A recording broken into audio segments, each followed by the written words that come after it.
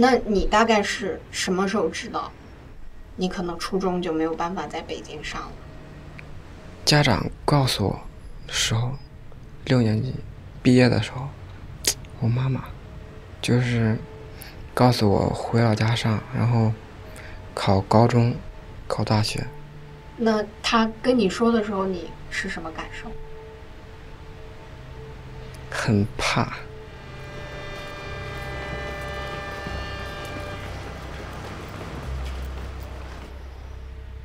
我是制作人野捕。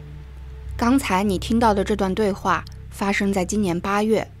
我采访的对象叫孙俊峰，今年十四岁。他出生在北京，爸妈是普通的进京务工人员。俊峰去年从五环外的一所打工子弟小学毕业以后，因为学籍问题离开了小伙伴和爸妈，独自一人回到老家读初中。像俊峰这样。跟随打工的父母在外地生活的孩子，我们称他们为流动儿童。专注流动儿童教育议题的公益组织新公民计划的项目负责人何冉告诉我，根据教育部2015年公布的统计数据，全国的流动儿童大约有3426万。我叫何冉。我们服务了特别多的流动儿童，而且我们见了非常多的孩子。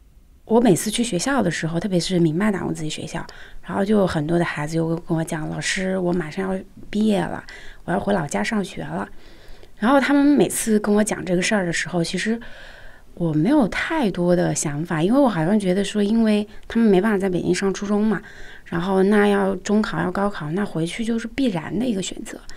呃，十二三岁的年纪，然后回老家，然后上学，就短短的两年一一年，甚至更短的时间，就就不读书了，或者是辍学了。就中间他的那个变化是怎么发生的？但是我在机构的所有的项目资料里面没有关于这些孩子返乡之后的任何的记录，也有一些，但是是就是他们做留守儿童，就是顺道踩顺道踩到了。关于这个群体的一些信息，但是是很数字化，就是比方说他们更孤僻呀，他们在同伴关系上比留守儿童啊更差呀，数字是没有办法让我们想象的。我就非常想弄明白，就是说这中间发生了什么。留守儿童他们有一点好，就是他们和父母是在一起的，而且他们的父母一般就我们都知道住在可能住在城中村或者是五环周边那种房租比较便宜的地方。这边会有一些专门为这种群体所存在的打工子弟学校，那一个学期收费，北京为例的话，现在三四千、四五千块钱一个学期。他们没有办法进公立的学校，第一个是确实北京的政策，城市升级嘛，他希望人口稳定在一个比较适宜的数字，在这一块儿的话，教育其实是可以筛一波他想留下的那一群人的。我们所说的这些群体，他。就是我追踪这个项目，他父母很多都不识字儿的，可能不是他想留住的那群人。我自己就身边不管同事也好，还是北京有很多的朋友，就所谓的精英阶层，就其实他们都有很多的小孩儿嘛。我也见过在所有那种贵族学校，一年几十万学校的孩子，就你可以明显看到，就是比方穿的很整洁，然后非常有礼貌。就我经常在他们用一个身上用一个词，就是说不动声色大人。就像小大人一样，就是什么东西都会懂一些，然后感觉很见过世面。男生就还感觉在就像小时候班上的成绩很好的、很有礼貌的 温润公子，我感觉。然后女孩子也是就比较开朗活泼、教养极好的那种感觉。孙俊峰是个很安静的孩子，他长着一张娃娃脸，刘海很厚。遇见陌生人的时候，他总是习惯性的低下头。让前额上的刘海挡住自己有些不安的眼神。采访前，我带俊峰吃了一顿工作餐。十三四岁应该是男孩食欲最旺盛、最长身体的时候，可是俊峰自己打的餐盘上，每份菜都是少少的一点儿。我鼓励他再多去拿一些，俊峰每次都摇摇头。早早吃完后，他就这样双手握在一起，低头不说话。我二零零五年出生，五月三日出生在北京。我我妈以前是做笔格，在比格工作，然后现在他没有告诉我，最近他换工作了。然后我爸一开始好像在绿化工作，然后然后绿化不干了，然后就去送餐麦当劳。有有一个哥哥，他现在在呃驻马店工作。你哥是个什么样的性格？我哥不爱说话。那你呢？差不多。我妈妈对我很好，很少说我，就是特别关心我。我爸爸就是特别对我特别凶，有时候还打过我。你爸一般会在什么事儿上说你？学习不好。因为打工子弟学校老师的工资是很低的。就在北京，可能就四五千块钱的打工子弟学校老师工资还算是比较高的。然后远一些的，像周边什么房山啊，我之前一七年还还听就同事去走访嘛，还有一个月拿两千块钱的，在北京就工资是非常非常低。就在这个工资，如果人家来北京混，就不是为了教育事业献身的，就基本上都很难以生存的。这样的薪资其实很难吸引到比较。好的老师，或者是好的学校出来的老师，所以老师大部分就是可能是一个小县城或者小市里面，就是中专，甚至是呃好一点，可能大专的师范类的老师，师资上来讲，其实就差了一截啦。但他其实在硬件所有的很多方面都是赶不上公立学校的，甚至农村的都比不上。那农村的学校都很大的操场啊，体育课，所以他们也会在人员上缩减。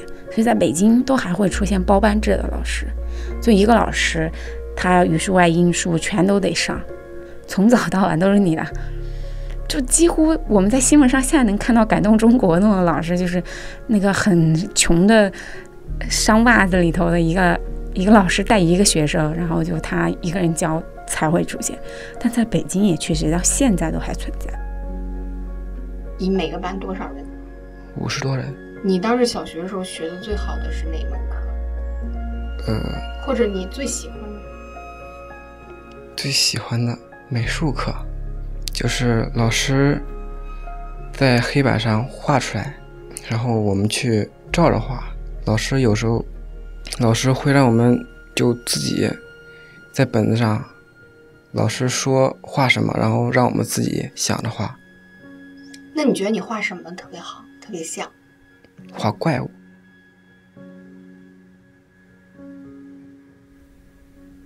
而且他们最远，像周末的话，北京就我们举个最简单的例子，就身边的人，大家都会带自己的孩子出去，不管是接触自然，还什么科技馆、各种馆，应该都去遍了。但他们没有，应该说是属于两点一线，就是老家和北京。如果是过年经常回去的孩子，那还有一些没回去孩子，可能就是家里学校。他们都很少去北京周边的景点的，就是你问到最多的，就可能鸟巢，极少部分人可能是去过长城的，就大部分人都没去过，这个特别震惊。就你说他对北京熟悉吗？他不熟悉的。就很多人他自己坐地铁都还很胆怯，因为父母没时间陪他嘛，他自己也不可能自己出来玩儿。你要说他是不是生活在北京，那就只能说他生活在北京的。学校和家庭周边的这个位置，其实北京以外的世界他是很陌生的。以前在北京生活的话，你爸妈嗯会给你零用钱吗？有时候会。你都拿这些钱买吃的、雪糕。平时会跟爸妈出去玩吗？在北京？嗯，不会，因为我家长比较忙。去过长城吗？天安门呢？去过。故宫？没有，只去了天安门。对我哥有一次从从老家回到北京，带我去带我去一个地方玩，是一条艺术街，忘了。七九八。对，墙壁全是画，然后我哥就给我拍照。对。你觉得那些东西画的特别好？对，很有意思。那他们想要升学嘛，小学升初中，就新文明计划的数据里面，北京的打工子弟学校的小学的数量是多于高中的、初中的。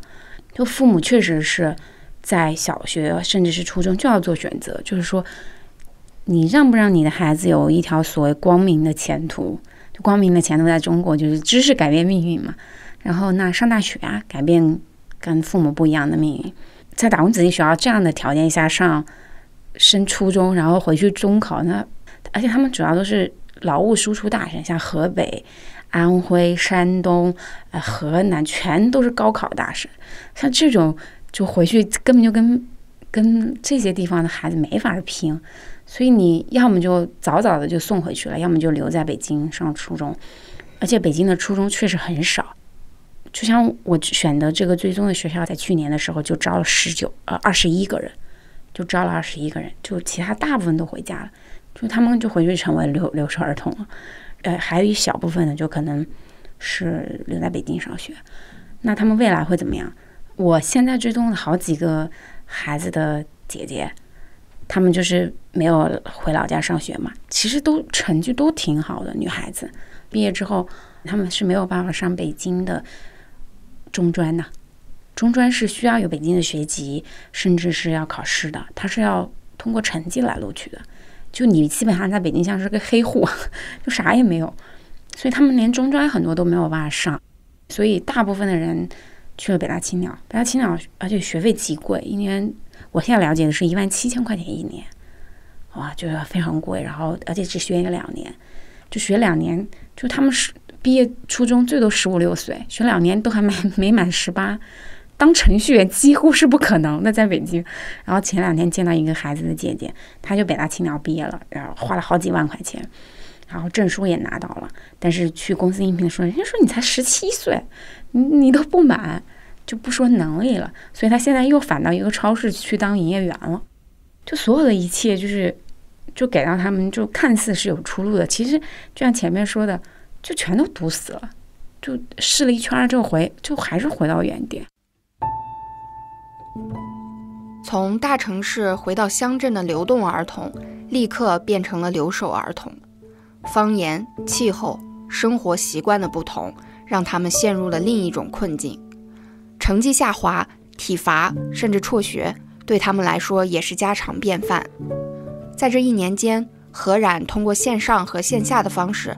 和孩子们保持着联系，他想要弄清楚，在他们身上究竟发生了什么。就目前为止，我这边就了解到的这些孩子返乡回去之后，特别是前一个月，我们有一个 QQ 群，就是这个项目的 QQ 群，然后他们就在群里刷屏，就说：“我居然发了三十本练习册，长这么大，我第一次知道作业这么多。”就他们以前会在北京，就确实会有学生说北京的教育质量嘛，因为。他都不参加北京的统考，他都没有一套系统的标准说评判这些孩子成绩好不好，所以他回老家之后是和这些千军万马的孩子想考高中的孩子在一条水平线上，见识到的东西跟他们北京完全是不一样的。然后还有人说，我作业完全写不完，九点就寝室熄灯，我还打着我的手电筒在躲在被子里写作业，还会说啊，我的体育课怎么体育课？因为他们会考试要考体育成绩的。然后，老师跑八百米，我我是超想跑四圈，我根本就跑不下来。然后就说，哎，就是各种抱怨嘛。我觉得作业特别多，老师很严。你们那个班有多少人？六十多人，快七十人了。我觉得是最初一开始，家长没有没有用很好的方式来教导我，然后让我养成了不爱学习的习惯，就是同学写作业的时候。嗯他们总是把作业早早写完，然后我还在打游戏，拖到很晚的时候我才写写作业。就有时候很晚的时候，就干嘛先把先把作业赶紧赶紧用手机，呃搜一搜，然后赶紧写完，然后就一直玩游戏。姐姐就在北京的时候，我们曾经做过一个儿童，就是权利日嘛，就有一个议题是老师为了你好，就你考试没考打你，这算不算暴力？然后当时就大部分人其实是一致的，会说是暴力，就他们的认知就就是这样想的。那回家之后，就我我调查的追踪的这些对象，就是百分之百的全部都被老师所谓暴力过。如果按照北京的这个标准，就是他们会定一个标准，比方说语文这数学这一次是八十分优秀，然后没到八十分的就差一分就打一板子，还会有那种单科的小测验嘛。几乎上了新课就要默，错一个老师，哎，我都不不想打你们，你们自己扇自己。这个对学生来说，他就觉得特开始回去，他就觉得特别不理解，就老师为什么，他他他自己会觉得就扇人耳光，就是十三四岁的孩子是完全知道尊严这件事儿的。但他后来发现，哎，班上成绩最好的孩子，同学也被删，啊，大家都习以为常，啊，他自己后来慢慢就觉得习以为常。家乡的老师管的严，没有北京的这么宽松。你们现在的话，班上是有班规对吧？对，班上不能说话，然后说话还罚钱，就有专门管管纪律的，然后记名，看见谁说话，然后记一个本子上，到放学的时候写在黑板上。然后就要交钱，交多少钱？记一次名交一块钱。七年级开学的时候就是老上，后面就不经常。有没有别的事儿，就是上学的这个过程让你特别期待？放学睡觉的时候，放学睡觉的时候，可以在寝室里面聊会天，聊会游戏，就特别轻松。所以返乡回去之后，前特别是前两个月，就是对吃的呀、语言啊这种教学的强度啊、老师的严厉呀，还有就跟父母分开嘛，而且大部分都是住校的，就这是他们没有的。几乎他们在北京，虽然说父母在所谓的素质教育这块，就可能关注的更少一但是吃住啊，就还是宠的挺厉害的。就比方说衣服不会洗的男孩子，特别特别多。但同时说回来，就我们自己也发现，一个学期之后，就七八个月、八九个月到现在，你再通过问卷和访谈，你会发现大家全部都适应了。但那个适应是就像我刚刚说的，唯一的选择嘛，不适应环境就要被环境灭掉！就他们好好的活下来了，就是他们活下来了。对很多父母来说，如果想要通过学习改变孩子的命运，在现行的教育体制下，回乡是唯一的希望。但是对于孙俊峰来说，这个希望格外渺茫。就去孙俊峰的学校的时候，因为我想去看看他的学校的情况嘛。那次去的时候，就刚好碰到他数学老师。数学老师是一个四十多岁的老师，看上去还挺柔和的，然后笑眯眯的，然后问我是不是来找孙俊峰的。我说是，然后一说，然后马上脸色就变了，然后声音就开始嗓门变大，就会哎，你们你你是谁？你孙俊峰谁？我说我是他一个。姐姐，他说：“你们这一家人真是的，怎么就怎么当人家长的？就把他一个人丢在这儿，什么都不管。他在学校犯了事儿，我都不知道找谁。我说您可以给他爸打电话，再打电话有什么用啊？他说：我说了他，我给他爸打电话，他爸还不在电话里说有用吗？说他有用吗？他就把孩子一个人丢在这，啥也不管。你们太不负责任了。就老师也很气愤。我当时就有点尴尬嘛，我就跟他说。”嗯，因为他在北京上不了公立学校，没有学籍，他就回回老家，就必须上公立学校，就是有学籍可以中考嘛。他他他现在这样能考上高呃高中吗？他考不考得上？我现在还没说，意思就是他成绩差，肯定是考不上高中的。那你还不如让他在北京至少有个人管着他。那初中三年指不定比老家学的还多呢。意思就是你你把他放回来也考不上的。但其实孙俊峰爸爸心里也是有数的。就他知道他自己儿子从小到大成绩，而且孙俊峰家有个哥哥，就四年的这个哥哥当时跟孙俊峰情况一样，初初中小学毕业之后六年级转乡回老家上的初中高中，他哥哥最后考了河南的一所师范的大专，师范大专，然后现在在中国电信工作，就中国电信就是县里面的分公司，然后他哥哥买了车，然后贷款买了房，就毕业几年。他爸爸就觉得，对啊，哥哥就改变命运了呀。那即使大学考的也不好，就是个大专，但是跟他不一样啊，就他看到过例子，在他前方，就他就不愿意放弃那一一丝丝他想要的那个希望。包括他父母回返乡这个事情是没有问过他的，就是爸爸妈妈就是一直中间摇摆不定嘛，到底要送不送他回去？最后决定了之后，就跟他说：“那你回去，回去上学。”所以他是一个嗯，基于父母安排，其实，在某些程度上是一个听话的孩子，非常是很敏感的一个孩子。你家里人怎么跟你联络呢？星期六、星期天的时候会打，他们嗯，经常问你什么呀？经常问我过得好不好，吃饭了没这样，还有学习这样。你一般都怎么回答他们？过得好不好？我就说很好啊。可是你你内心觉得自己一个人过得好吗？不算太好，你觉得你最需要的是什么呢？需要一个朋友。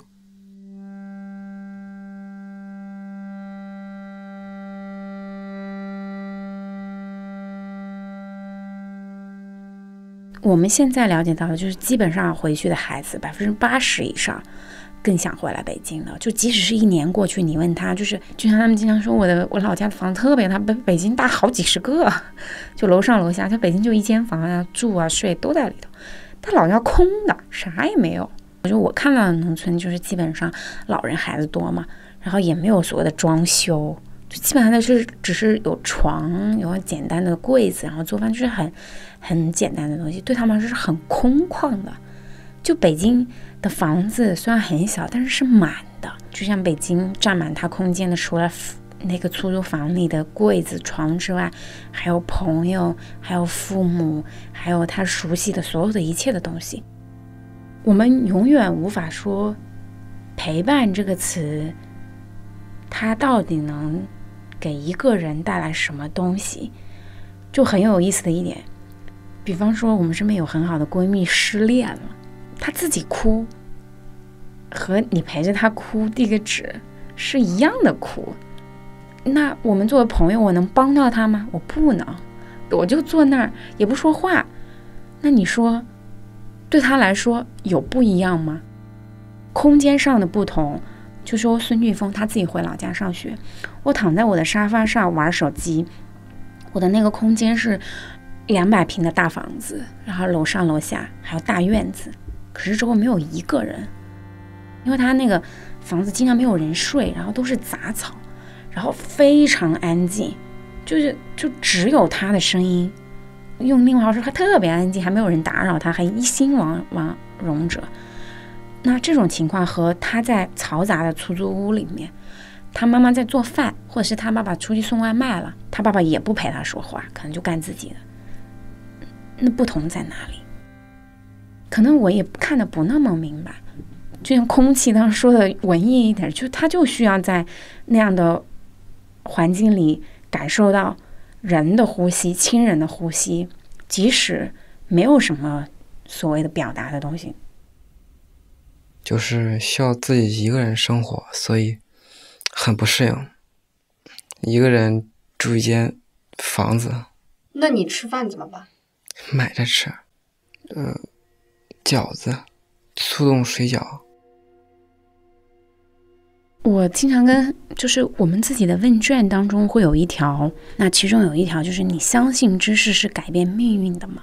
因为这个在返乡第一次的时候，我们去家访的时候，我们也会折中的去问一下家长，他们为什么选择送孩子回去。所以家长那边的议题就是为了改变命运嘛，就如果你将来不读书，就要跟我一样去卖菜；如果你不读书，就要像我一样早起去开的士啊；如果你不读书，你将来就跟我一样就这么辛苦。所以这些孩子是很清楚自己背负着怎样怎样的使命回家的，学业对他们来说是非常非常大的压力。就但你要问他们说，你觉得读书现在可以改变命运吗？就这个问题到现在来看，一年之后就会发现有一些人的那个选项是有变化的。就对他们来说，就家长的那个殷切的期盼，他们是非常理解的。但这个完全是不能说服他们的，就在他特别不擅长的地方，他做不到。就他也想成绩好，可是他他没有办法让自己的成绩好，周围没有人可以帮他，而且所有的人都在告诉他成绩好多么多么重要，所以他非常非常有压力。想过爸爸妈妈在北京生活觉得辛苦吗？有，他们晚上不回来的时候，晚上需要工作，然后就觉得很辛苦。这种会是一种动力吗？觉得自己要好好学习。有，但是过一段时间，我好像又忘记了，然后又沉迷于游戏。所以他自己会经常说：“我我我喜欢，你看王宝强，农村出来的，没上多少学，但是他最后成了一个很有名的演员，就给他看到希望嘛，会觉得说，我也可能通过这方面来改变命运，就是。”所以，我虽然知道上学很重要，我可能也达不到那个要求，但是我好像还有别的出路。所以，就他们，就现实当中很多自己达不到的东西，或者是他觉得这条路走不通了，他很明确知道说父母让他读大学，他可能不能实现。那其实现在充斥在他世界当中的那个引导的东西，貌似好像让他看见了另外的一扇窗。我觉得这也是啊，我我很担心的地方。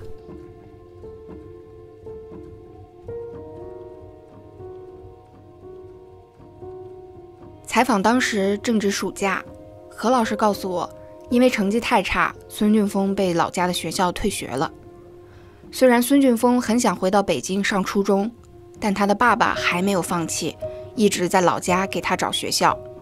制作这期节目的时候，开学已经两个月了，我们获得了孙俊峰最新的情况，他已经回到北京的打工子弟学校，正在就读八年级。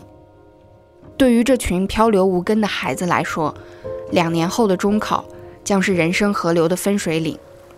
有些人会奔向他们的大海，另一些人则会永远寂静下去。我想用作家袁林在他的非虚构作品《寂静的孩子》序言中的一段话来结束今天的节目：他们并不遥远，就在我们之中。一旦我们打开眼睛和耳朵。会发现世界不再寂静，布满了条条奔腾的瀑布。每个人的生命都是一滴泼溅的水珠。